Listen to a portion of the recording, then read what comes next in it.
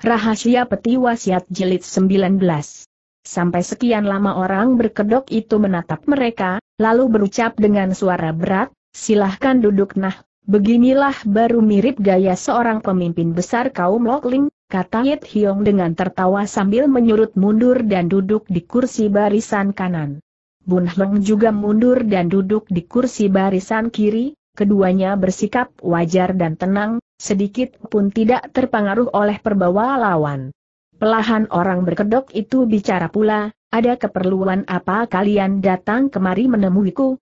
Kalau tidak keberatan, numpang tanya dulu siapa nama dan si Chong Tochu yang terhormat tanya Rit Hyong dengan kurang senang orang itu menjawab, apakah maksud kedatangan kalian hanya ingin tahu siapa diriku ini oh, tidak. Jawab Pit Hyong dengan tertawa soalnya ada semacam barang hendak kami persembahkan kepada Chong Tochu, namun kita baru pertama kali ini bertemu, sepantasnya mesti saling memperkenalkan nama masing-masing, inilah sopan santun pergaulan tapi aku tidak suka bicara tentang sopan santun segala, kata orang itu ada barang apa yang hendak kau berikan padaku, boleh keluarkan saja, It Hyong lantas menanggalkan bungkusan yang dibawanya sambil bertanya. Apakah ada seorang anak buah Chong Tochu yang bernama Si Hyam ada? Jawab orang berkedok itu It Hyong membuka bungkusan dan mengeluarkan kotak palsu, katanya. Di suatu tempat ia diserang dan terluka parah oleh dua kawan bulim yang tidak diketahui asal-usulnya, sebelum menghembuskan napas terakhir ia minta ku bawa kotak ini untuk diserahkan padamu oh. Orang berkedok itu bersuara tak acuh demi memenuhi pesannya akibatnya banyak pahit getir yang ku alami, oh, kembali orang itu bersuara singkat. It Hyong meraba kotak palsu itu, katanya pula dengan tersenyum, apakah kau tahu benda mestika apa isi peti ini tahu? Jawab orang berkedok oh, dapatkah kami diberitahu pinta It Hyong boleh, jawab orang itu peti ini berisi sehelai peta pusaka harta karun, Asal peti ini dapat dibuka dan mendapatkan peta, tentu akan dapat menemukan harta karun tinggalan Eng Jiao Ong Oh Kiam Lam sesuai petunjuk dalam peta. Nilai harta karun itu berjumlah beberapa juta tahil perak apa betul Lit Hiong menegas dengan tertawa. Tentu saja betul, aku tidak menghendakinya, sudah kuputuskan akan kuberikannya untukmu, kata orang itu hahaha, Sebab apa tanya Rit Hyong dengan terbahak sebab peti yang kau pegang itu palsu, tiada berisi apa pun dalam peti, kata orang berkedok mau tak mau Rit Hyong melengak tanyanya. Dan mana kau tahu peti ini palsu sebab peti yang asli sudah kudapatkan ujar orang itu dengan tertawa oh oh, di mana tanya Rit Hyong. Orang berkedok membalik ke sana dan mengeluarkan sebuah peti besar dari bawah meja, Peti besar itu dibuka dan dikeluarkan sebuah kotak hitam dan dilemparkan kepada Itiong, katanya dengan tertawa, coba kau lihat, petiku inilah yang tulen. Setelah menerima kotak hitam itu dan diperiksa, Itiong tambah terkesiap, serunya, Hahaneh dari mana kau dapatkan kotak pusaka ini kudapatkan dan tangan Tui Beng Poan Koantoh Posik, tutur orang berkedok itu dengan tertawa seketika Itiong melonjak kaget, serunya. Apa katamu? Jadi engkau sudah mendatangi San orang berkedok itu mengangguk pelahan jawabnya, betul, baru kemarin ku pulang kemari. Tentu kalian mengalami sesuatu dalam perjalanan sehingga terlambat, dan baru sekarang sampai di sini berdesak jantung Et Hyong, tanyanya pula dengan terkesiap, masa toh Posit mau memberikan kotak pusaka ini kepadamu orang itu tertawa, silahkan duduk dulu, biar ku ceritakan duduknya perkara sedapatnya Rit Hyong menahan perasaannya yang bergolak, ia duduk lagi dan bertanya, apakah engkau telah membunuh Toh Posit? Orang berkedok itu sengaja mengelak tanpa menjawab, dengan senyum eje, ia berkata, urusan ini harus ku ceritakan mulai dan awal. Apakah kau tahu apa maksud tujuan Toh Posit menyuruhmu menangkap Oh Beng Ainona Oh hendak digunakannya sebagai umpan untuk memancing dan menangkap seorang, tuturit Hiong. Betul, kata orang itu. Tapi apakah kau tahu siapa yang hendak dipancing nyawa? Hal itu aku tidak tahu. Jawab It Hiong sambil menggeleng biar ku beritahukan padamu, ucap si orang berkedok. Orang yang hendak dipancingnya adalah kakak Nona Oh Sendin, yaitu Eng Jiao Ong Oh Kiam Lem Et Hiong melenggung tanyanya, Hah, masa begitu? Bukankah Eng Jiao Ong Oh Kiam Lem sudah mati tidak? Meski dia memperalat sesosok mayat untuk memalsukan dia sendiri, namun tetap tidak dapat mengeladobi metle, toh posik, tutur si orang berkedok. Sebab apa Oh Kiam Iam sengaja pura-pura mati tanya Itiong tidak mengerti. Sebab banyak orang mengincar harta bendanya, kata orang itu. Terutama ketujuh saudara angkatnya, yaitu Lok Lim Jit Choat. Setiap saat mereka senantiasa mengincarnya dan berdaya akan mencelakai nyawanya serta merampas harta kekayaannya. Sebab itulah Oh Kiam Lem menggunakan akal, ia memperalat sesosok mayat untuk menyamar sebagai jenazahnya agar Lok Lim Jit Kot mengira Oh Kiam Lem benar sudah mati terbunuh musuh, Lalu ia membuat lagi sebuah kotak pusaka serta menyiarkan berita bohong bahwa di dalam kotak pusaka berisi sebuah peta harta karunnya, tujuannya supaya Lok Lim Jit Kot berusaha merampas kotak itu hingga saling membunuh, dengan begitu akan tercapai maksud tujuannya menumpas Lok Lim Jit Kot. Sekarang tujuannya sudah tercapai Lok Lim Jit Kot memauk sudah mati seluruhnya. Tidak, tidak betul, Tukasit Hiong.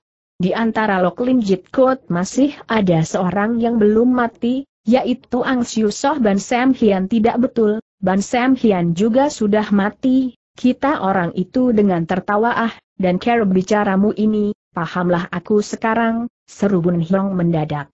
Jelas Hengka sendiri inilah Heng Jiao Ong. Oh Tiam Iam, betul tidak orang itu menanggalkan kedoknya sehingga terlihat wajah aslinya yang kering, mata besar, alis tebal, ia menyeringai dan berkata, betul, aku inilah Oh Kiam Lem Et Hiong membuang kotak palsu tadi, ia melolos pedang sambil melonjak bangun, teriaknya, jika demikian, jadi toh posit sudah kau bunuh bukan Eng Jiao Ong Oh Kiam Lem duduk tenang tanpa bergerak, mendadak ia tertawa keras, katanya, hahuha, janganlah tegang, anak muda. Ingin kutanya dulu padamu, Bukankah sejauh ini toh Posit tidak mau memberitahukan padamu siapa gerangan yang ingin ditangkapnya, bukan memangnya kenapa kalau betul? Jawab Pit Hiong dengan mendelik gusar. Itu menandakan dia mempunyai pikiran busuk, kata Oh Kiam Lam dengan tertawa ia ingin memperalat adik perempuanku untuk memaksa aku masuk perangkapnya dan mengincar seluruh harta kekayaanku omong kosong teriak Yit Hiong bengis. Sama sekali bukan omong kosong, ujar Reng Jiao Ong Oh Kiam Lem dengan tertawa. Tempo hari waktu ku pergi ke Maciksan jelas-jelas dia sudah bilang padaku bahwa selama hidupnya dia mengabdi untuk kepentingan umum, sampai tua tetap tidak mendapat sesuatu keuntungan apa pun, maka sekarang dia ingin meraih sejumlah harta untuk kelangsungan hari tua, ucapan itu juga didengar oleh adik perempuanku, kalau tidak percaya boleh kau tanya padanya. Tidak aku tidak percaya seruit Hiong sambil mengentak kaki dia. Pasti bukan orang macam begitu jika dia ingin menangkapmu, hal itu juga ada ini kepentingan umum haha, percaya atau tidak terserah padamu, seru Oh Kiam Lam dengan tergelak.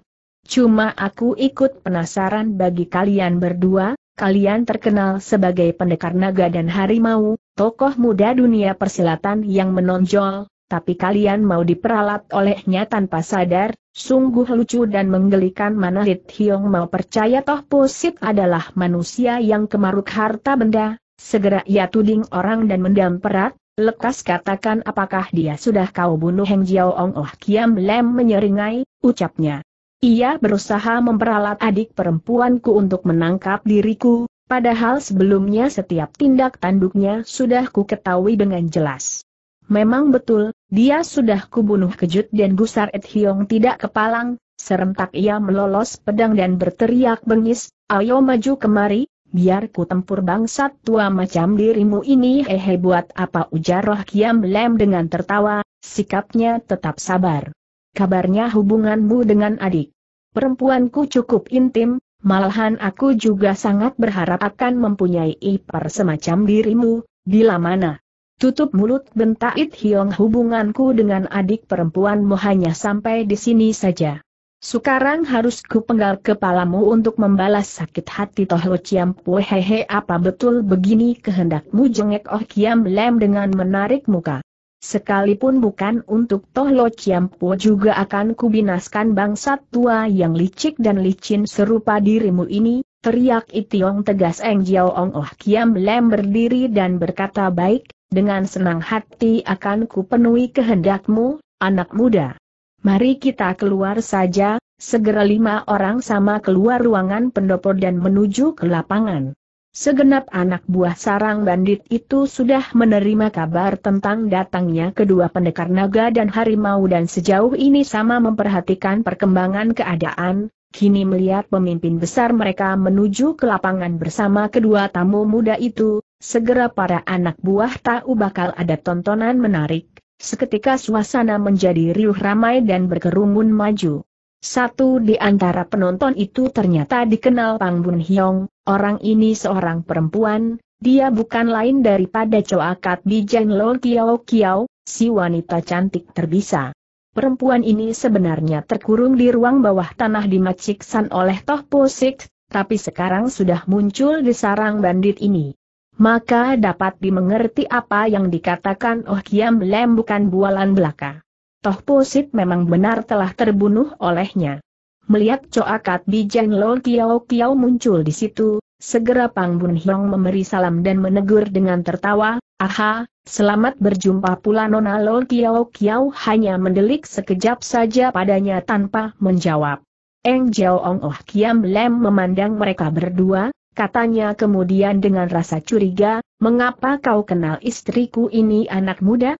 Bun Hong menjawab dengan tertawa, bukan cuma kenal saja malahan, Kiao Kiao tampak gugup dan membentak Pang Bun Hyong, hendaknya kau tahu batas kalau omong, meski kita memang sudah lama kenal, tapi perkenalan kita berlangsung secara bersih Kiao Kiao, selah Oh Kim Lem dengan kurang senang, dia yang kutanya dan bukan tanya dirimu lalu ia berpaling dan tanya Bun Hyong, anak muda, kau bilang tidak hanya kenal saja, malahan apa malahan timbul semacam, semacam perasaanku, kata Bun Hyong dengan tertawa. Sinar mata Oh Kiam Lem tampak mencorong tajam, tanya dengan suara berat, perasaan apa begini, Aku ini ada semacam ciri yaitu bila mana melihat perempuan cantik lantas ku kejar terus-menerus, tutur Bun Hyong. Beberapa tahun yang lalu secara kebetulan kulihat dia, aku terkejut akan kecantikannya, maka segera kuatur siasat dan mulai melancarkan serangan padanya. Namun dia bilang, aku terlampau muda dan tidak sudi menerima cintaku. Tentu saja aku sangat kecewa karena bertepuk sebelah tangan, aku sakit rindu dendam dan hampir saja jiwa melayang, keterangan ini membuat Toh Kiam Lem tersenyum kembali, katanya, hektometer, dengan muka tebesai serupa dirimu juga ingin meinikat perempuan cantik, huh, jangan ingin pia, ya, memang kata Bun Hyong dengan tertawa.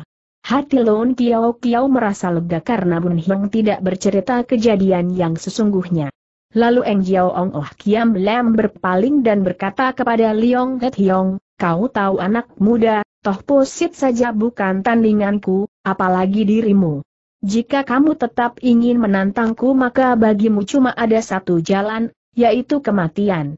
Biarlah sekarang ku suruh seorang anak buahku coba-coba beberapa jurus denganmu segera ia menoleh dan berkata kepada si gemuk yang aneh itu, Ong Siwi, boleh coba kau layani dia, Si gemuk aneh itu mengiyakan, segera ia melolos senjata andalannya, yaitu Toya tiga ruas, ia melangkah maju, katanya sambil terkekeh, hehe, anak muda, biar kuantar kamu pulang ke nenekmu.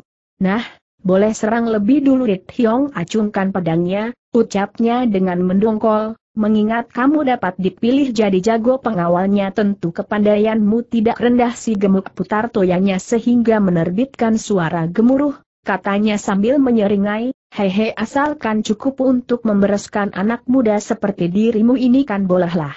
Baik, akan ku beri tiga kali serangan padamu kata Lit Hiong. Huh, masa kau mampu ejek si gemuk tentu saja mampu, coba saja, jawab Hiong. Panas juga hati si gemuk, ia terkekeh dan membentak, baik, ingin kulihat apakah kau mampu menahan sampai tiga kali seranganku begitu melangkah maju langsung Toya Ruas pertama menghantam batok kepala It Hiong. Cepat, It Hiong mengegos ke samping sehingga serangan lawan terelak. Namun Toya tiga ruas itu memang senjata serba banyak variasinya baru saja Tiong menghindarkan jurus pertama tahu-tahu serangan kedua si gemuk sudah menyabet pinggangnya, betapa cepat perubahan serangannya sungguh sukar dibandingi senjata umumnya. Selain cepat dan aneh jurus serangan si gemuk, tenaganya juga sangat kuat. Baru saja Rit Hyong menyurut mundur, kembali ia dipaksa harus menghindar lagi ke samping. Roboh bentak si gemuk, berbareng jurus ketiga menyabot pinggang lagi.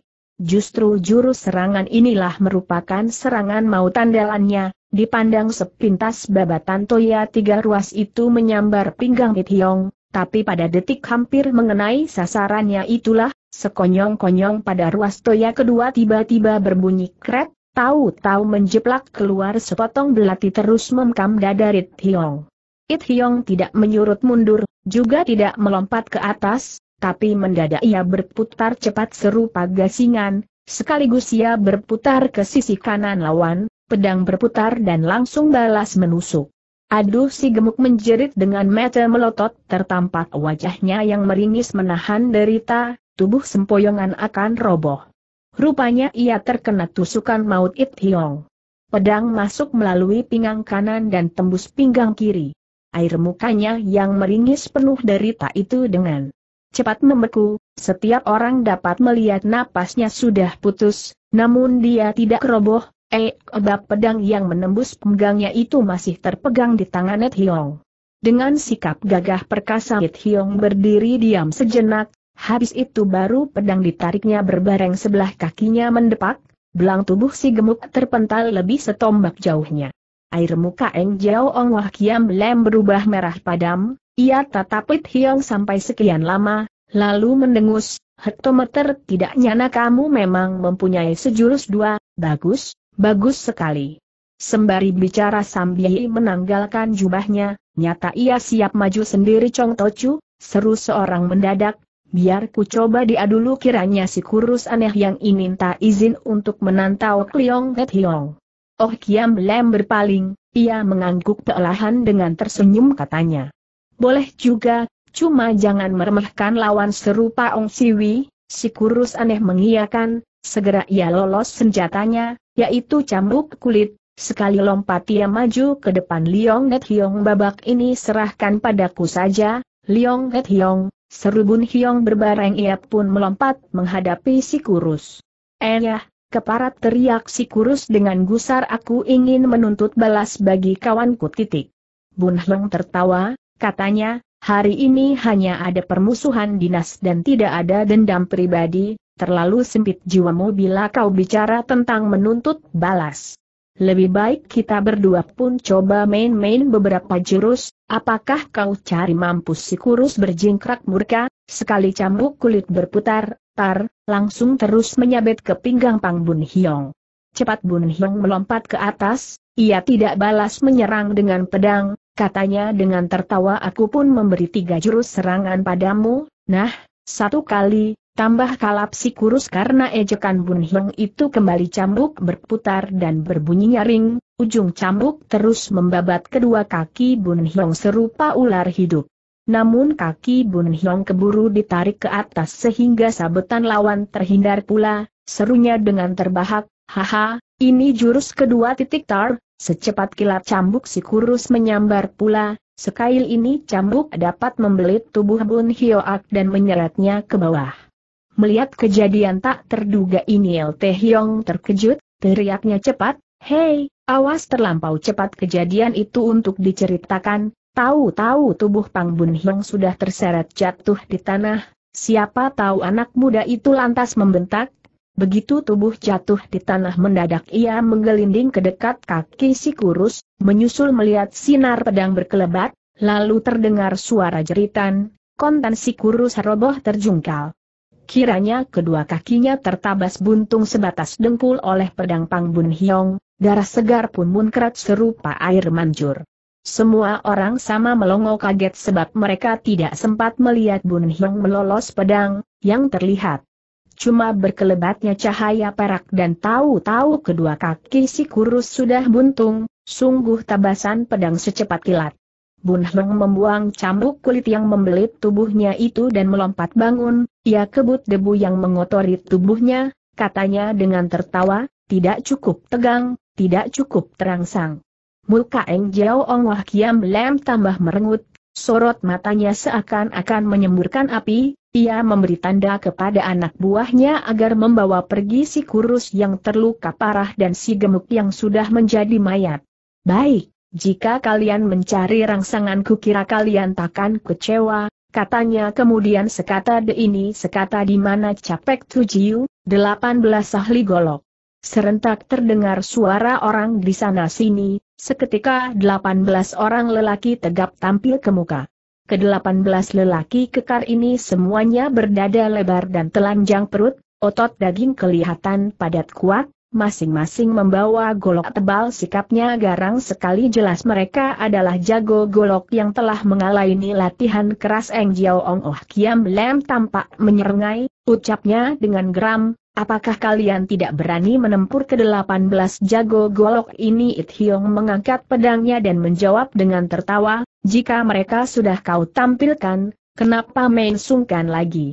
Segera Oh Kiam Lem memberi tanda sambil membentak, maju sejak tampil ke-18 orang itu sudah mengepung Bun Hyong di tengah, begitu menerima aba-aba, serentak mereka melangkah maju dengan teratur sehingga It Hyong berdua terkurung semakin rapat. It Hyong rapatkan punggung dengan Bun Hyong dengan sikap sewajarnya. Ia berkata, Pang Bun Hyong, apakah sekarang kamu menyesal? Haha, menyesal apa? jawab Bun Hyong dengan tertawa. Menyesal karena kamu ikut kemari bersamaku kata It Hyong kentut Tomel Bun Hyong tempat yang dapat kau datangi tentu aku pun berani datang tapi kedatanganmu sekali ini mungkin cuma akan mati tanpa hidup lagi kata It Hyong. Hari ini mati, 20 tahun kemudian kan sudah tumbuh kembali, takut apa jawab Bun Hyong dengan tertawa. Keduanya bicara dengan santai, ke-18 ahli golok yang terus mendesak maju itu seakan-akan tidak terpandang oleh mereka. Sebaliknya ke-18 ahli golok itu kelihatan sangat prihatin dengan sikap serupa sedang menghadapi musuh besar, sungguh sangat kontras bila dibandingkan sikap It Hyong berdua yang acuh tak acuh itu menyusul jarak kedua pihak yang semakin dekat. Suasana pertempuran sudah hampir membuat sesak napas orang, namun It Hyong dan Bun Hyong masih terus bicara seenaknya seperti tidak terjadi apa-apa. Ciaat terdengar teriakan ramai, Dua ahli golok bagian tengah mendahului melancarkan serangan, golok tebal segera membacok. Bun Heng dan It Hyong tertawa panjang, serentak mereka berkelit, tanpa berjanji tapi bergerak serupa keduanya sama menggeser ke samping. Akan tetapi dengan cepat luar biasa mereka memperlambat langkah dan kembali berdiri tegak dengan santai. Sebaliknya kedua ahli golok yang membacok tadi serupa kena ilmu sihir, Wajah keduanya menampilkan rasa kejut dan bingung tak terkatakan, biji mati mereka melotot serupa hendak melompat keluar, sampai sekian lama baru terdengar suara belak-beluk, berturut-turut keduanya roboh terkapar, darah segar pun menyembur keluar dari perut mereka. Sisa ke-16 jago itu sama terkesiap, tanpa terasa sama menyurut mundur satu langkah, Nyata mereka sama gentar terhadap ilmu pedang Et Hyong dan Bun Hyong yang luar biasa itu. Jangan takut, maju bersama bentak Oh Kiam Lem dengan bengis. Segera terdengar suara bentakan dan teriakan dari sana-sini ke-16 ahli golok terus menyerbu maju dengan ganas. Maka terjadilah pertarungan sengit, sinar golok dan cahaya pedang berkelebat kian kemari.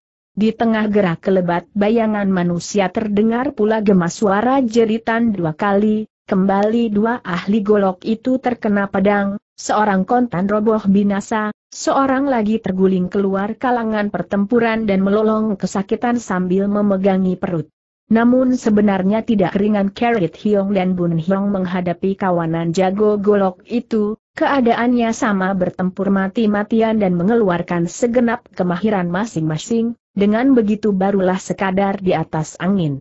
maklumlah, apa pun juga sukar melawan kerubutan gerombolan kera. Jika setiap orang harus melayani tujuh golok dengan sebatang pedang, betapapun memang tidak sederhana.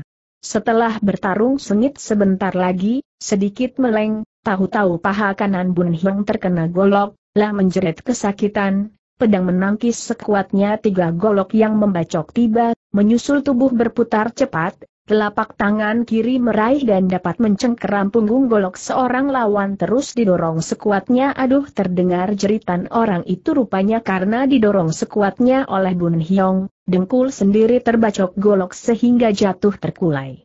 Tanpa ayah Bun Hyong berputar lagi, pedang bekerja cepat, kembali seorang lawan kena tertutup lehernya di sebelah lain It Hyong juga harus menghadapi tujuh orang lawan, ia masih sempat tanya Bun Hyong, Hai, kawan apakah kamu dapat tanda jasa saya? Cuma terluka ringan, tidak apa, jawab Bun Hyong.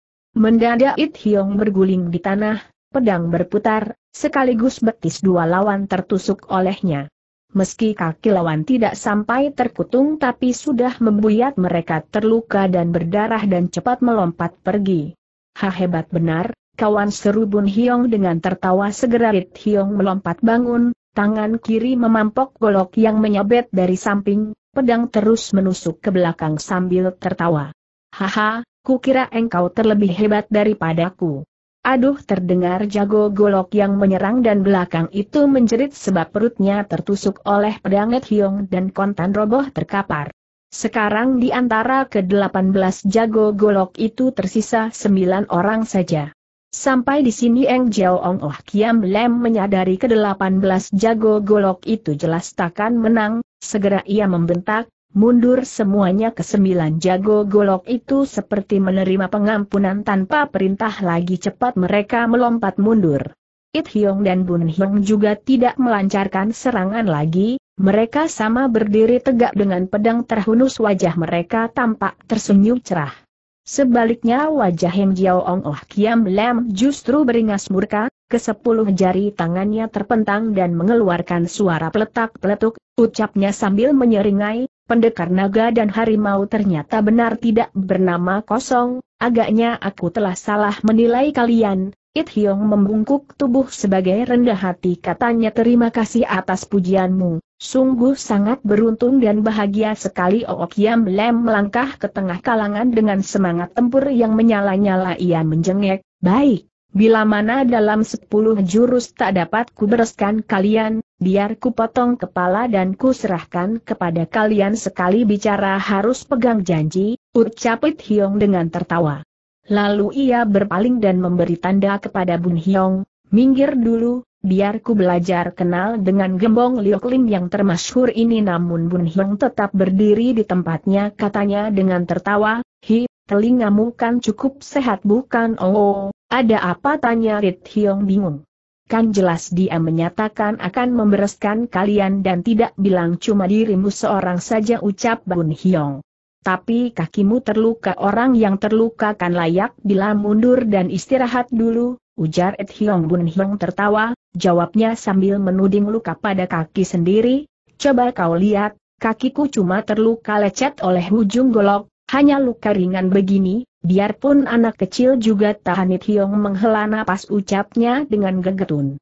Kamu ini memang orang aneh, mengapa sengaja hendak mengantar nyawa bersamaku jika kamu saja tidak takut antar nyawa, masa aku mesti takut, jawab Bun Hyong. It Hyong tidak bicara apa-apa lagi, ia berpaling dan memberi salam kepada Oh Kiam Lam, katanya dengan tertawa. Sadah lama ku dengar Reng Jiao Keng Oh Chong Tochu Mahaliai, beruntung hari ini diberi kesempatan untuk belajar kenal, sungguh sangat bahagia dan menggembirakan jika kalian sudah siap silahkan serang saja jengek Op Kiam Lam. It Hyong tahu lawan yang dihadapinya sekarang adalah tokoh golongan hitam yang sangat menakutkan, sebab itulah meski tampaknya dia bersikap santai, tapi di dalam hati sebenarnya sangat tegang, ia berpaling dan tanya Bun Hyong dengan tertawa. Apakah Hengka sudah siap kawannya? Siap Bun Hyong mengangguk, jika begitu, ayolah maju begitu kata terakhir itu terucap, serentak pedang bergerak, dengan lurus Hek Ho Utau Sim. atau harimau kumbang mencuri hati, langsung ia tusuk hulu hati Eng Jiao Ong Oh Kiam Lam. Pang Bun Hiong tidak tinggal diam, berbareng pedang juga menyabat ke bagian kaki Oh Kiam Lam dengan jurus Cui Tiaugwe atau meraih bulan di bawah air. Kedua orang membagi serangan bagian atas dan bawah dengan kerjasama yang sangat rapi. Oh Kiam Lam bersuit panjang, serentak ia meloncat ke atas, kaki kanan terus mendepak dada Pang Bun Hiong, tangan kiri menghantam batok kepala Leong Nit Hiong, gerakannya indah, serangannya jitu dan berbahaya. It Hyong dan Bun Hyong kenal kelihayan lawan, cepat mereka menarik senjata dan menghindar. Oh Kiam Lem memang tidak malu sebagai tokoh Lok Lim nomor satu, begitu serangan sudah mendahului segera ia berputar lagi, serupa angin puyuh cepatnya mendadak ia menubruk ke arah Hit Hyong, kelima jari terpentang terus mencengkeram muka anak muda itu inilah Heng Jiao Keng atau Takare Arng Sakti yang mahalihai, kelima jari sekeras baja, entah sudah berapa banyak tokoh dunia persilatan yang dicederai oleh tenaga cakarelang sakti yang lihai ini. Dengan sendirinya Liong Het Hiong kenal akan kelihayan Kung Fulawan, cepat ia mendak ke bawah, dengan gaya Pan Liong Jihou atau naga melingkar menanduk harimau, pedang berputar terus balas menusuk ke atas. Plak, Kelima jari Oh Kiam Lam yang mencengkeram itu mendadak menggenggam batang pedang I Hiong dengan erat serupa tangan memegang toya saja, sedikit pun tidak takut akan ketajaman pedang. Keruan It Hiong terkejut, sekuatnya ia mendorong, lalu ditarik ke bawah, tapi dirasakan pedang sendiri seakan-akan lengket dengan tangan lawan, satu sentip pun tidak dapat ditolak, satu inci pun sukar ditarik. Bun Hiong tidak tinggal diam, Mendadak ia membentak keras, pedang terus menusuk pinggang kiri musuh, tujuannya memaksa Oh Kiam Lem melepaskan pedang Leong Nit Hiong. Oh Kiam Lem menyeringai, dengari cekatan telapak tangan kiri terus meraih ke bawah, kembali terdengar plak, tahu-tahu pedang Bun Hiong juga tercengkeram olehnya. Dengan kesepuluh jari telanjang Oh Kiam Lem dapat menangkap mata pedang yang tajam dan sama sekali tidak khawatir jari dan telapak tangan akan tersayat oleh mata pedang kedua lawan. Tentu saja Bun Hyong rada cemas, cepat ia angkat kaki kanan terus mendepak pinggang musuh. Blang, dengan tepat pinggang terdepak. Betapa hebat tendangan Bun Hyong itu, biasanya biarpun pohon juga akan terguncang bila tidak tumbang, tapi sekarang Oh Kiam Lem ternyata berdiri tegak tanpa cedera apa pun, malahan kedua kaki sama sekali tidak bergeser selangkah pun. Mendadak Oh Kiam Lem tertawa panjang, tenaga dalam dikerahkan serentak pada kedua tangan sambil membentak patah terdengar suara peletak dua kali, kedua pedang Leong Itiong dan Pang Bun Hiong seketika patah menjadi dua. Merinding kedua anak muda itu melihat kesaktian lawan, Cepat mereka melompat mundur dan menatap lawan dengan terkesiap. Hektometer, kalian mau lari aja, Oh Kiam Lam sambil menyeringai. Sekali bergerak, dengan cepat luar biasa ia memburu maju, kelima jarinya lantas mencengkeram, kerat, tanpa ampun bahu kiri Leong Het Hiong tercengkeram. Seketika Yit Hiong merasa sepotong daging bahu seperti terbeset, saking kesakitan ia menjerit dan langsung roboh terjungkal. Melihat kawannya roboh, kuatir lawan turun tangan keji lebih lanjut, tanpa pikir keselamatan sendiri Bun Hiong menerjang maju, dengan pedang kutung yang masih dipegangnya ia menabas kuduk musuh. Namun Oh Kiam Lam sempat putar telapak tangan ke belakang dan menabas pergelangan tangan Bun Hiong yang memegang pedang sehingga pedang kutung tergetar ke samping, menyusul tangan yang lain terus mencengkeram pula ke depan, katanya dengan tertawa, Kau pun roboh saja, Kontan Bun Hyong menjerit sambil memegang perut dan berjongkok, keringat tampak mengucur dari dahinya. Hektometer, Oh Kiam Lem mendengus, ia memberi tanda kepada anak buahnya yang berkeliling di luar kalangan, katanya, ringkus mereka dan gantung terdengar suara ramai mengiakan segera beberapa orang berlari ke tengah kalangan dan meringkus El Hyong dan Bun Hyong dengan erat. Di samping kiri lapangan itu ada sebuah kerekan bayu, beberapa anggota bandit segera meringkus kaki dan tangan Net Hyong berdua, lalu menyeret mereka ke bawah kerekan, tali kerekan ditarik turun untuk diikat lagi pada kedua tangan Net Hyong dan Bun Hyong, lalu tali ditarik, mereka dikerek ke atas. Kiranya Yit Hiong dan Bun Hiong cuma terluka oleh cakaran Eng Jiao Kang Oh Kiam Lam sehingga kehilangan daya perlawanan, mereka tidak mati, malahan pikiran mereka masih cukup jernih. Oh Kiam Lam ikut ke depan kerekan, dengusnya, tanggalkan baju mereka, naga takut dikeletek sisiknya, harimau takut dibetot turatnya sekarang hendak ku keletek sisik dan membetot otot mereka, dua anak buahnya mengiyakan dan berlari maju, dengan pisau mereka merobek baju It Hiong berdua, baju mereka ditarik sehingga terlepas semua hanya tersisa celana dalam saja. Choa Kat Bijang Lo Kiao Kiao menggelendot di samping Oh Kiam Lam ucapnya dengan tertawa genit, bocah Sipang ini punya urat, tapi bocah Siliong itu tidak bersisik, care bagaimana juragan akan mengeletek sisiknya membeset kulitnya sama artinya mengeletek sisiknya, jawab Eng Jiao Ong Oh Kiam Lam dengan tertawa. Oh, kiranya begitu, Kiao Kiao tertawa ngikik belum pernah kulihat orang dibeset kulitnya, Kukira pasti sangat menarik ya, memang sangat menarik, kata Oh Kiam Lem dengan mengangguk. Lantas care bagaimana kulitnya akan dibeset? Tanya Kiao Kiao mudah, tutur Oh Kam Lem sayat saja sebuah lubang pada kulit kepalanya, dari situ dituang air raksa, kau tahu lubang betapa kecil pun akan disusupi air raksa.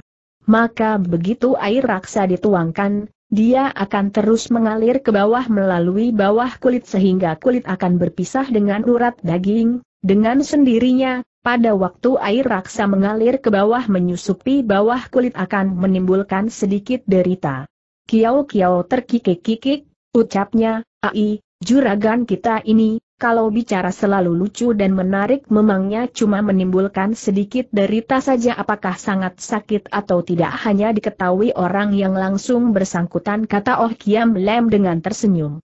Perlahan Kiao Kiao mendekati Liong Nit Hiong, ia memandangnya sekejap dengan tersenyum, katanya, Liong L.T. Hiong, kukira sekarang engkau tentu sangat meuyesal karena memakai gelar pendekar naga, betul tidak meski tubuh tergantung, namun sifat It Hiong yang nakal tidak berubah, ia tertawa dan menjawab. Aku cuma menyesal satu hal, hal apa tanya Kiao Kiao aku menyesal salah lahir, kata It Hiong, apabila aku dilahirkan menjadi Pangbun Hiong, wah, alangkah baiknya. Kamu berharap dirimu menjadi Pangbun Hiong Kiao Kiao menegas dengan melengos. Ya, It Hiong mengangguk. Apostrof. Sebab apa tanya Kiao Kiao sebab Pang Bun Hiong pernah tidur denganmu, kata Itiong. Dapat tidur dengan orang secantik serupa dirimu, sungguh boleh dikatakan mati pun tidak perlu menyesal seketika muka Kiao Kiao menjadi merah teriaknya gusar, ngaco belau sembarangan omong, orang macam apa diriku ini, manaku sudi tidur dengan Pang Bun Hiong. Tiba-tiba Bun Hiong menyambung dengan tertawa, Kiao Kiao, perempuan cantik macam dirimu memang menyenangkan cuma sayang, di antara kecantikanmu yang mulus terdapat setitik kekurangan. Kiao Kiao berpaling dan melotot kepada Bun Hiong, dan peratnya dengan gusar, berani lagi kamu sembarangan omong seketika dapat kubinasakanmu namun Bun Hiong tidak peduli ia bicara pula, harus diakui sekujur badanmu cukup sempurna hanya saja setitik tahi lalat yang terdapat di bawah perutmu itulah yang kurang menarik kejut dan murka Kiao Kiao, sambil membentak segera sebelah tangannya menghantam muka Pang Bun Hiong. Berhenti bentak Oh Kiam Lem mendadak pukulan Kiao Kiao itu sudah hampir mengenai sasarannya, bila mana diteruskan, seketika muka Bun Hiong bisa hancur dan binasa. Tapi demi mendengar bentakan Oh Kiam Lam itu mau tak mau Kiao Kiao harus menahan pukulannya. Sebab ia cukup paham perangai Oh Kiam Lam setiap orang harus tunduk kepada perintahnya. Dengan sikap manja diam minta dikasihani Kiao Kiao menoleh dan berkata kepada Oh Kiam Lam. Juraganku, janganlah engkau percaya kepada ocehannya, hamba tidak pernah berbuat sesuatu yang tidak setia terhadapmu sikap Oh Kiam Lem kelihatan kaku dan dingin katanya, jika benar kamu tidak pernah berbuat sesuatu yang tidak setia padaku dari mana ia tahu di bawah perutmu ada setitik tahi lalat.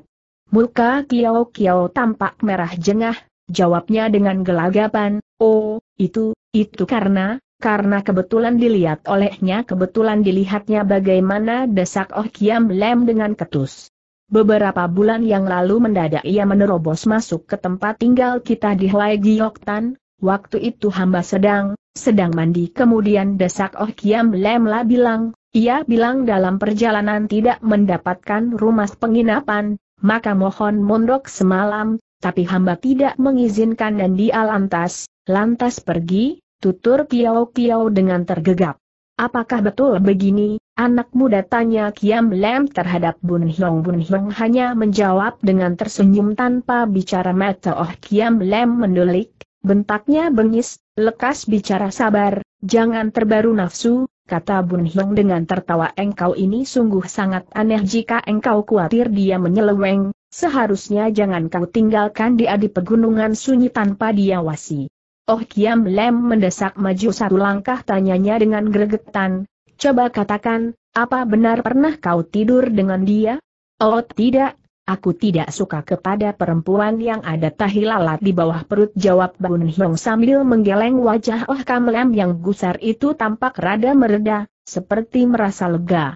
Sungguh Lo Kiao Kiao tidak percaya Pang Bun Hyong masih mau menjaga rahasianya, tertarik juga hatinya, ia melirik sekejap ke arah anak muda itu dengan sorot mata penuh terima kasih. Meski kamu tidak mengganggu perempuanku tapi anak buahku telah kau bunuh, tetap akan ku beset kulitmu, bentak Kiam Lem. Wah, caramu ini bukankah membalas susu dengan tuba jawab Bun Hyong Oh Kiam Lem tidak menggubrisnya lagi, mendadak ia berteriak kepada anak buahnya.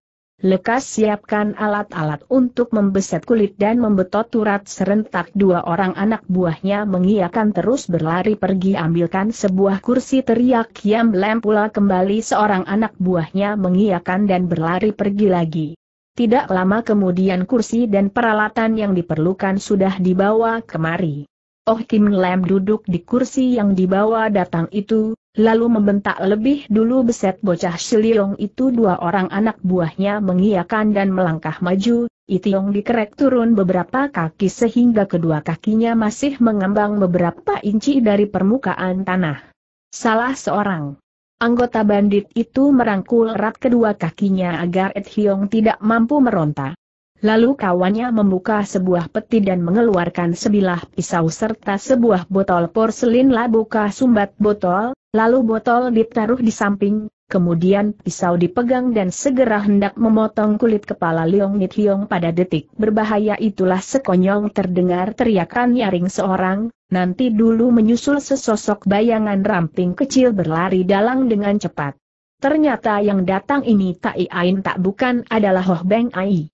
Melihat yang muncul ini adalah adik perempuan sendiri, bekernyit kening Oh Kiam Lam, katanya dengan tidak senang, untuk apa kau keluar ke sini Beng? Ai lari ke samping Seng kakak terus berlutut dan menyembah, ratapnya sambil menarik tangan Oh Kiam Lam, Koko kemohon dengan sangat, janganlah engkau membunuh dia. Sinar mata Oh Kiam Lam mencoreng bengis jengusnya, hektometer, dia pernah menawanmu dan diserahkan kepada Toh Posik, tapi sekarang kamu malah mintakan ampun baginya dengan air mata berlinang Beng Ai berucap, Koko, percayalah padaku, dia orang baik dia senantiasa sangat baik padaku hektometer, kau bilang dia orang baik jengek Oh Kiam Lem jadi kakakmu ini orang busuk begitu tidak, adik tidak bilang kakak kurang baik.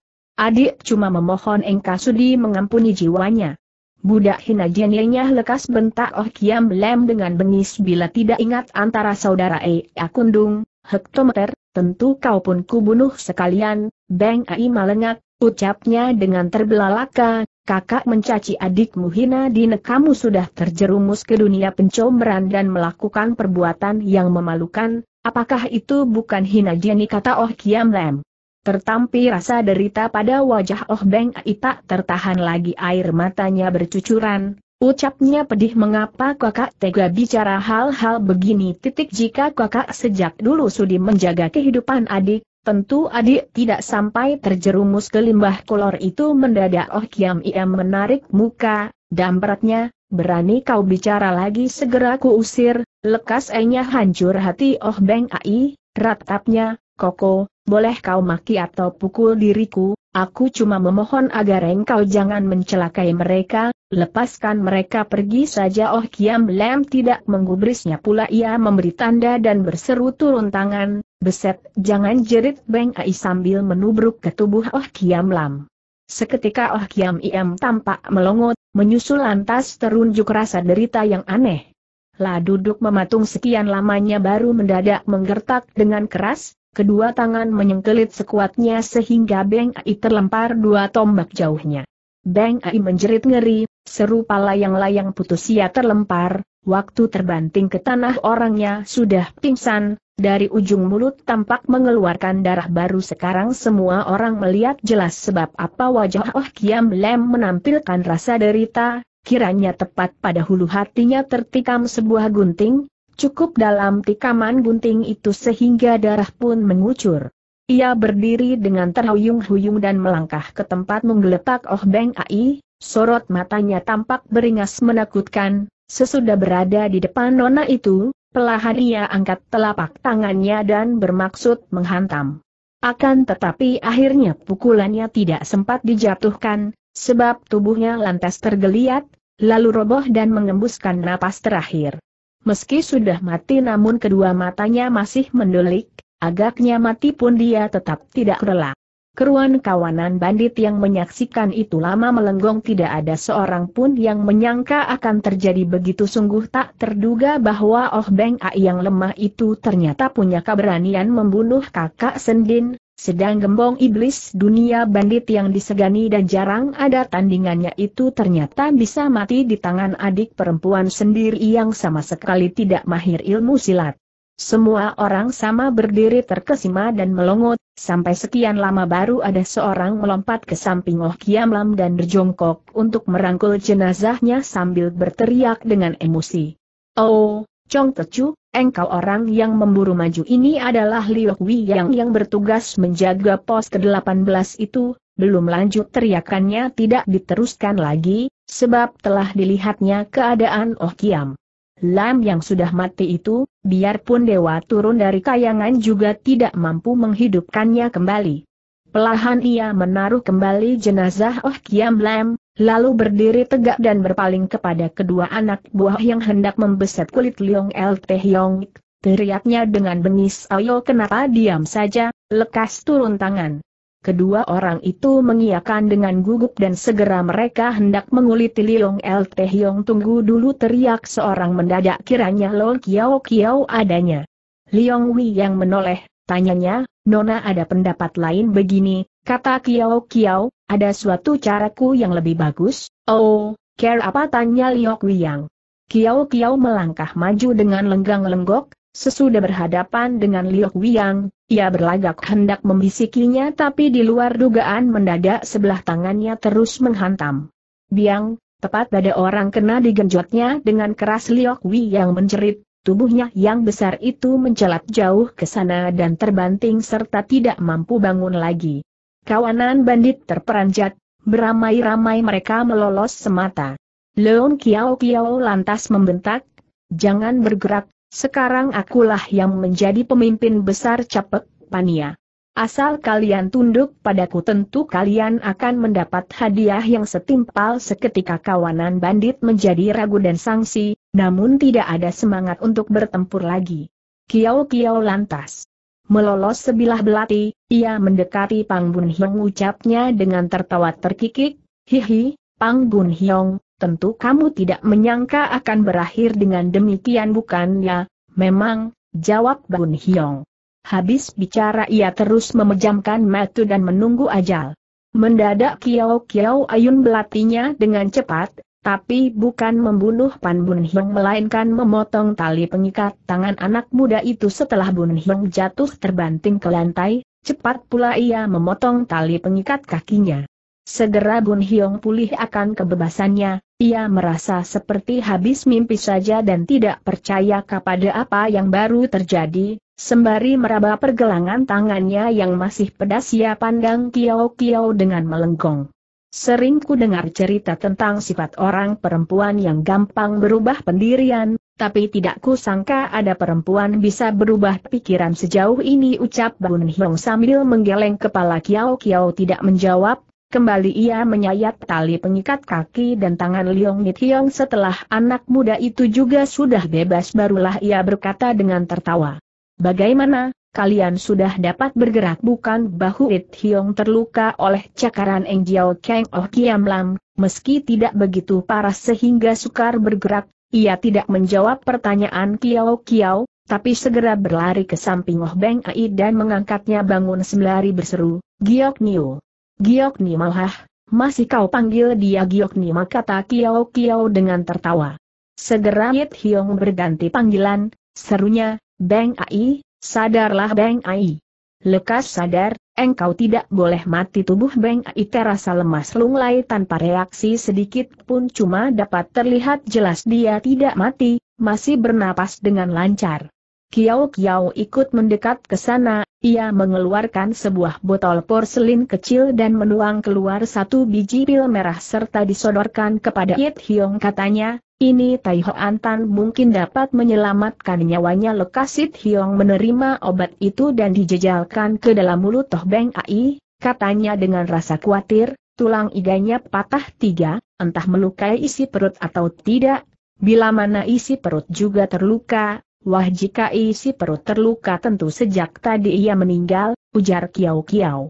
Namun apa pun juga memang harus cepat ditolong, bicara sampai di situ ia berpaling dan tanya kepada kawanan Handit yang berdiri di sekelilingnya. Ke mana perginya Hoaloji hamba berada di sini seru seorang. Lalu seorang tua tampil ke muka harap kau periksa keadaannya, pinta lo kiau kiau orang tua alias Hoaloji itu mendekat dan berjongkok, diperiksanya kelopak mata Beng Ai lalu meraba lagi tulang iganya, katanya kemudian sambil mengangguk, rasanya masih besar harapan akan tertolong, jika begitu lekas kau tolong dia, kata Kiao Kiao cepat. Baik, harap Liong Hiap membawanya ke dalam rumah kata Hoa Loji. Habis berkata ia lantas mendahului melangkah ke sana. Siapa dia? Tanya El Tehyong dia seorang tabib di markas kami ini, ia suka mengaku sebagai keturunan Hoa Tu, tabib sakit di zaman Sam Kok, tutur Kiao Kiao dengan tertawa meski kebanyakan orang tidak percaya namun kepandaiannya mengobati orang memang terbukti nyata cepat. It Hyong mengangkat Toh Beng Ai dan ikut Hoa Loji ke dalam rumah melibat. Mereka sudah masuk ke sana, Bun Hyong mendekati Kiao Kiao dan bertanya dengan suara tertahan, apakah dapat kau atasi orang banyak? Kian Kiao tersenyum, katanya untuk sementara ini dapat kuatasi mereka yang berada di sini, tapi anak buah ke 17 markas yang lain apakah mau tunduk padaku atau tidak belum berani ku jamin mengapa engkau menolong kami tanya Bun Hyong dengan tertawa, biasa, ucap Kiao Kiao dengan tertawa manis, aku tidak suka kepada Oh Kiam Lem lagi,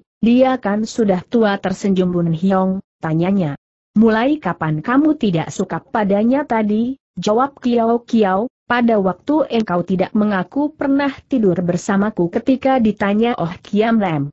Hah, perempuan semacam dirimu memang menarik, seru Bun Hiong dengan terbahak. Tiba-tiba Kiao Kiao bicara dengan serus, sekarang aku sudah menjadi pemimpin besar Capek Pania maka kamu harus tunduk kepada perintahku.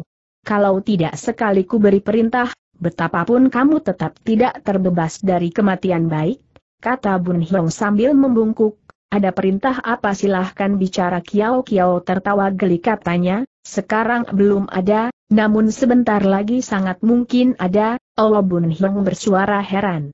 Dengan suara tertahan Kiao Kiao berkata, Bila pemimpin ki tujuh markas yang lain tidak mau tunduk kepada pimpinanku, maka harus kau bela diriku care bagaimana membelamu tanya Bun Hyong dengan suara pelahan tolol, Onmel Kiao Kia dengan sendirinya menolongku kabur dari sini masa engkau tidak ingin tetap bercokol di singgah sana pemimpin besar Capek Pania ini tanya Bun Hyong asalkan ada orang suka padaku, segala apa pun tidak ku minta lagi, jawab Kiao Kiao.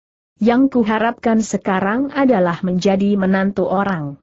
Jika Kara ingin menjadi menantu keluarga Pang kami maka kamu harus setia pada tata susila orang perempuan, ujar Bun Hyong. Hal ini ku yakin dapat kulaksanakan, Jawab Kiao Kiao dan Care bagaimana akan kau selesaikan beratus anak buah ini tanya Bun Hiong.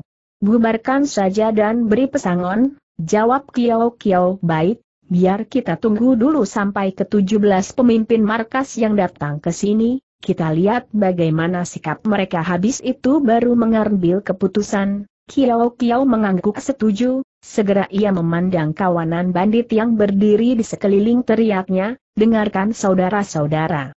Chong Tochu kita tanpa terduga telah dibunuh oleh adik perempuannya sendiri sekarang aku menjabat tugas Chong Tochu untuk sementara, asalkan kalian tunduk kepada pimpinanku, mulai bulan ini gaji kalian diipatkan satu kali hora.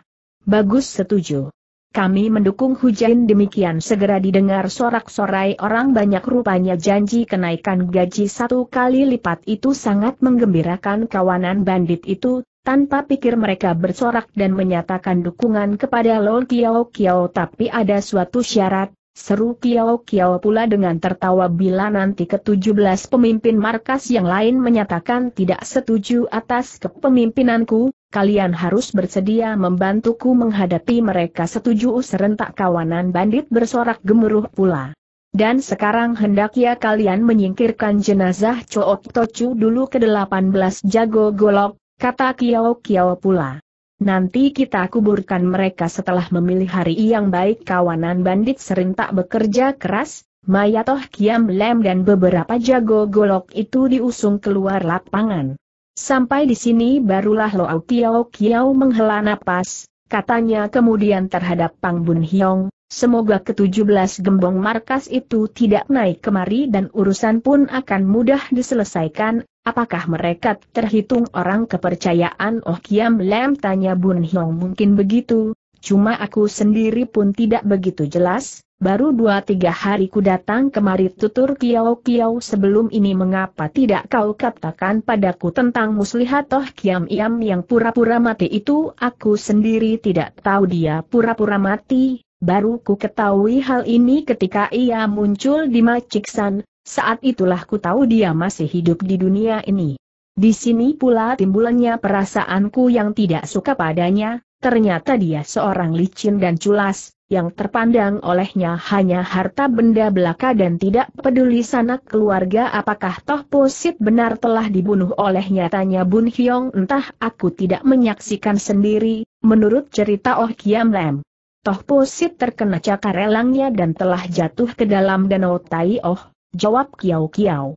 Menurut cerita Oh Kiam Lam, katanya Toh Posit juga mengincar harta kekayaannya, entah betul tidak keterangannya ini tanya Bun Hiong memang betul kata Kiao Kiao kemarin juga Nona Oh memberitahukan padaku akan hal ini, katanya Toh Posit memang pernah menggunakan dia sebagai sandra dan memaksa Oh Kiam Lam membayar satu juta tahil perak kepadanya, Ai sungguh tidak nyana toh posit juga manusia yang tamak dan kemaruh harta, kata Hit Hyong dengan gegetun.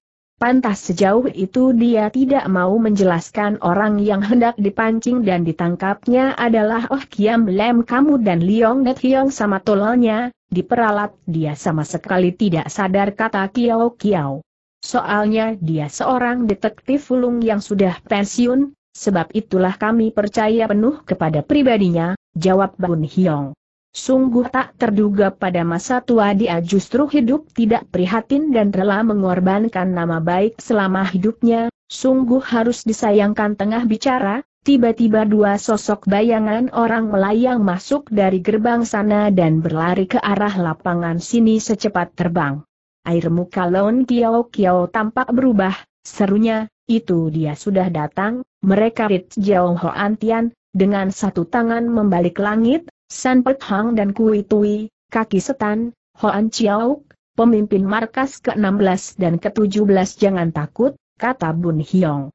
Jika mereka berani ngotot dan melawan, biar ku bereskan mereka. Apakah lu kamu tidak beralangan? Tanya Kiao Kiao dengan penuh perhatian. Tidak menjadi soal, jawab Bun Hiong.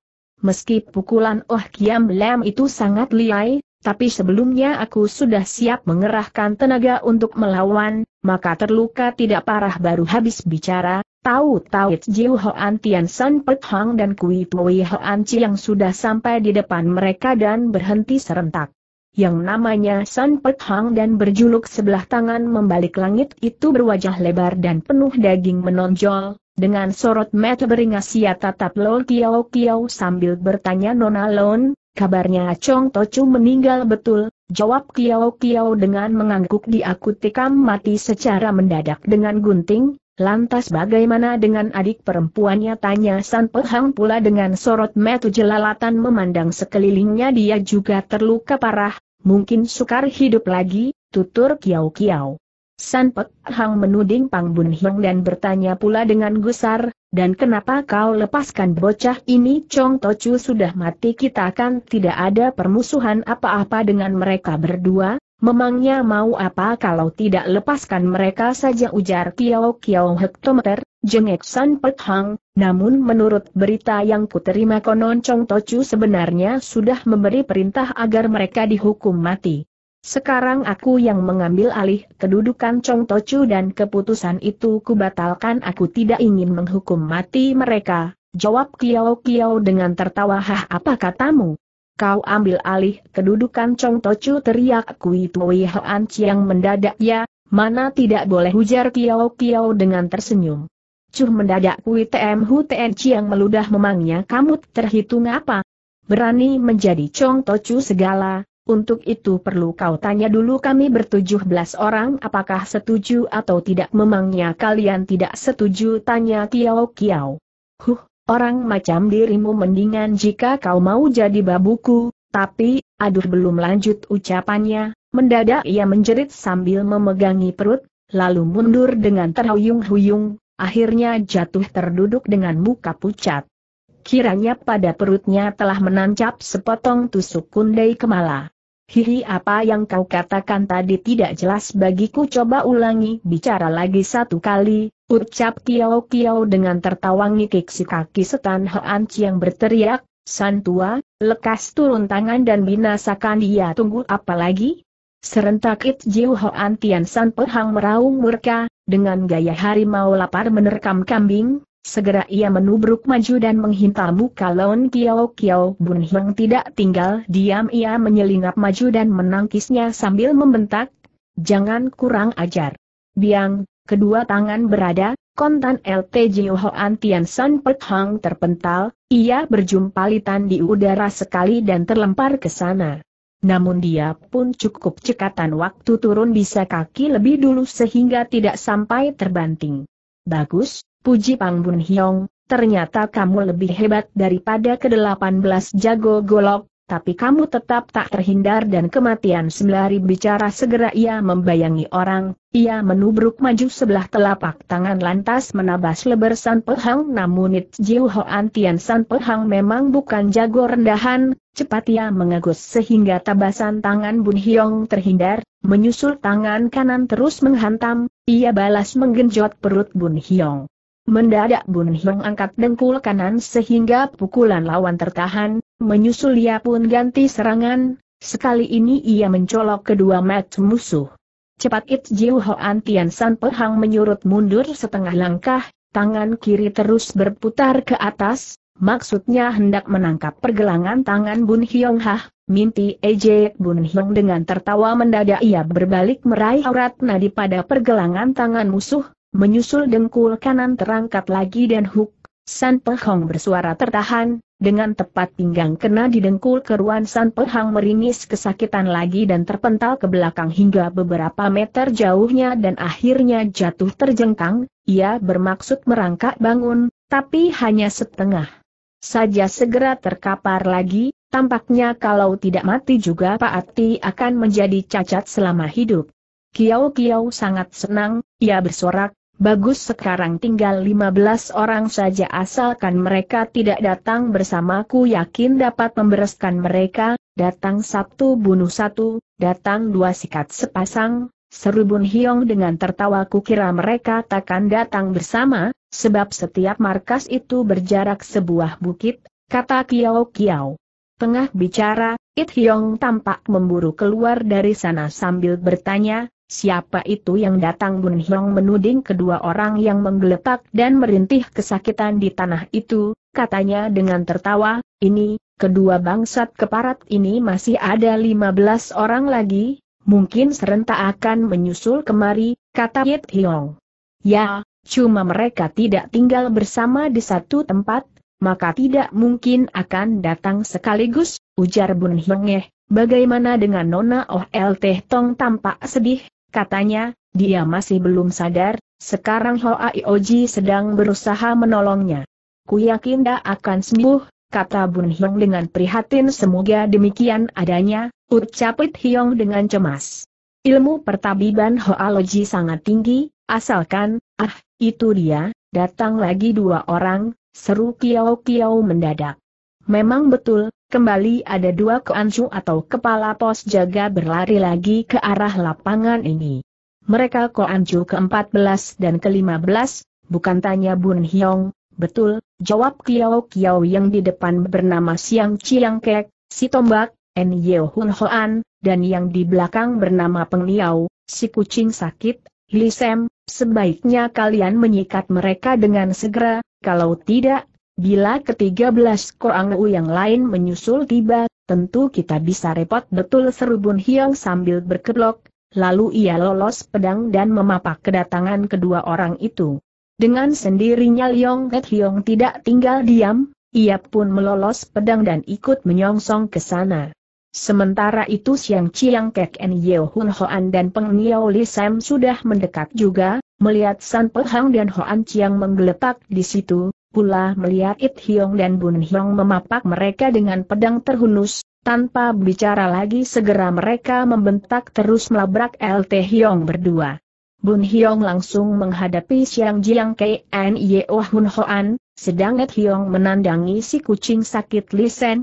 It Hyong dan Bun Hyong menyadari berharganya waktu sekarang, mereka tidak boleh main-main dengan lawan, maka begitu maju mereka terus mengeluarkan segenap kepandaiannya, pedang berputar secepat kilat, hanya beberapa gebrakan saja N.I.O. Hun Hoan dan Li Sam sudah dicecar hingga cuma mampu menangkis dan tidak sanggup balas menyerang sama sekali. Melihat kelihayan ilmu pedang Leong Nit Hiong, si tombak N.I.O. Hun Hoan menyadari bukan tandingan orang, segera timbul maksudnya untuk ngacir. Mendadak tombaknya menangkis. Pedang Net Hyong yang sedang menusuk, berbareng itu ia terus melompat mundur sambil berteriak, Lo Sam, ayo mundur dulu jangan lari bentak It Hyong. Pedang berputar dan orangnya lantas memburu maju, secepat kilat pedang menyabet. Kret, di mana sinar pedang berkelebat, tahu-tahu si tombak En Hun Hoan sudah roboh sambil menjerit ngeri ia masih mampu merangkak bangun dan melompat ke depan, ia kabur dengar menderita luka. Si kucing sakit Li Sam juga ingin kabur, namun gagal, dengkulnya tertusuk pedang Pang Bun Hyong, seketika ia meraung kesakitan dan terguling di tanah. Mendadak Lo Kiao Kiao melompat maju, ia jemput tombak yang ditinggalkan N.I.O. Hun Hoan, dengan cepat ia putar ke samping si kucing sakit Li Sam, tanpa ampun ia tusuk hulu hati orang dengan tombak rait, darah munkrat. Li Sam menjerit ngeri kaki dan tangan meronta sejenak, lalu tidak bergerak lagi. Kemudian Kiao Kiao melompat ke depan San Pehang dan Hoan Chi yang tombak bekerja cepat, susul menyusul kedua orang itu pun dibunuhnya. Bun Hong menggeleng-geleng kepala, katanya, Ai orang perempuan janganlah sekejam itu, mereka kan sudah kehilangan daya perlawanan, tidak perlu dibinasakan care begitu Kiao Kiao tertawa ucapnya babat rumput tidak seakar-akarnya setelah hujan segera tumbuh kembali. Orang-orang ini memang manusia berlamuran dosa apa salahnya mereka dihabiskan saja. Tidak kasikat mereka, kelak tentu akan mendatangkan penyakit. Meski beralasan menumpas kejahatan, tapi aku tidak setuju membunuh orang yang sudah terluka dan tak bisa berkutik kata Lit Hyong, terlebih dirimu, orang perempuan mana boleh main bunuh begitu saja, kan, Huh, itu dia dalang lagi tiga benar juga waktu mereka berpaling tertampak tiga orang berlari datang pula. Mereka adalah Koancu ke-11, ke-12 dan ke-13, mereka masing-masing bersenjata pedang, golok dan toya, dengan cepat mereka menerjang tiba.